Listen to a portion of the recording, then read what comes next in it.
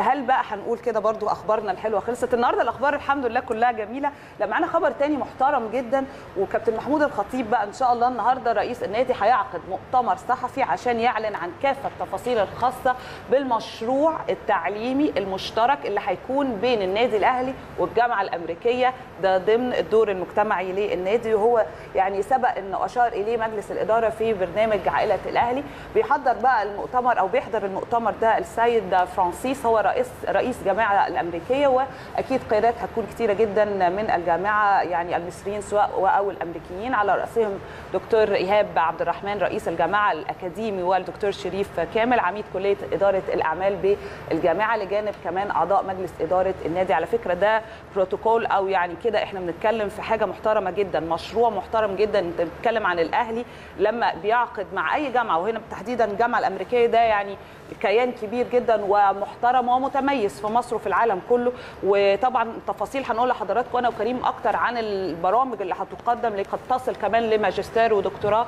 فأعتقد إن كده الأهلي ما سابش مجال مش يعني ما قدمش فيه حاجة. فبجد شيء بجد يفرح. أنت عارفة إن إحنا تقريبا لو يعني لو هنجمع الأخبار المتعلقة بالدور المجتمعي بس يعني النقطة دي أو البند ده فقط المتعلقة بالنادي الأهلي ده إحنا عايزين لنا كذا حلقة ورا بعض. ومش هنطلع بره الموضوع. يعني من كتر ما فعلا النادي الأهلي مجتمعيا فاعل وفعال وملموس اللي هو بيعمله وليه انعكاسات إيجابية على المجتمع ككل مش بس بالنسبة لمنسوبي النادي الأهلي أو المحسوبين على النادي صحيح. الأهلي أو حتى مشجعيه.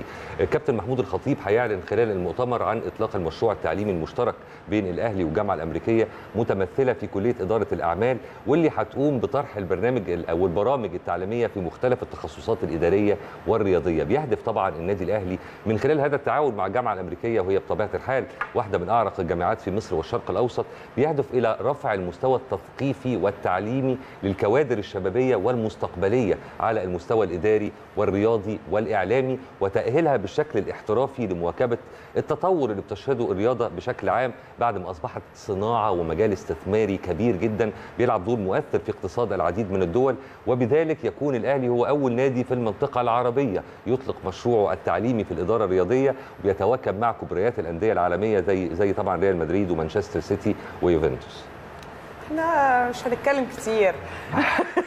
تعبنا من الإنجازات يا نهوان. تعبنا من آه أنا فرهطت من. الإنجازات الفترة الأخيرة.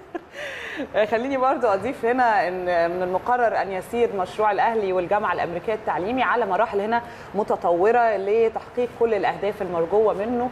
هيبدأ بيه ببرامج تعليمية والشهادات في الإدارة الرياضية مقترنه مقترنه هنا بمعايشات عملية بقى للملتحقين مع إدارات النادي. وبعد كده زي ما كنت بقول لحضراتكم دبلومة أو ماجستير كمان.